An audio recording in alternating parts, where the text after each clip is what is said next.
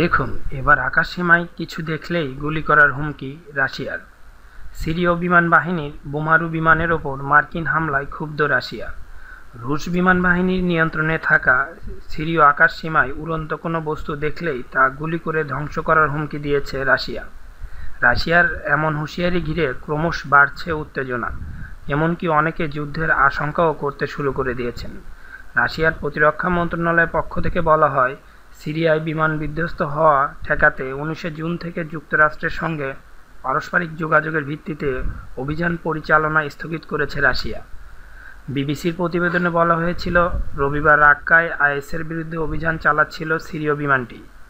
তখনই মার্কিন জোট গুলি চালায়। তবে পরে প্যান্টাগনের পক্ষ থেকে দাবি করা হয় মার্কিন সমর্থিত সিরীয় ডেমোক্রেট ফোর্সের ওপর বিমানটি অব্যাহত বোমা বর্ষণ করছিল বলেই সেটাকে ভূপাতিত করা হয়েছে। সিরিয়ার পক্ষ থেকে এ ঘটনাকে উদ্ভুত আক্রমণ হিসেবে উল্লেখ করে বলা হয়, এটি একটি বিপজ্জনক প্রতিক্রিয়া। উল্লেখ্য, মার্কিন কর্তৃপক্ষের দাবি অনুযায়ী, সিরীয় যুদ্ধে মার্কিন নেতৃত্বাধীন জোটের অংশগ্রহণের পর থেকেই এবারই প্রথম সিরীয় বিমান ভূপাতিত করেছে তারা। আমার এই চ্যানেল হতে আপনারা যদি আরও লেটেস্ট নিউজ পেতে চান, তাহলে অবশ্যই সাবস্ক্রাইবের মাধ্যমে আমার সঙ্গে থাকুন। ধন্যবাদ সবাইকে।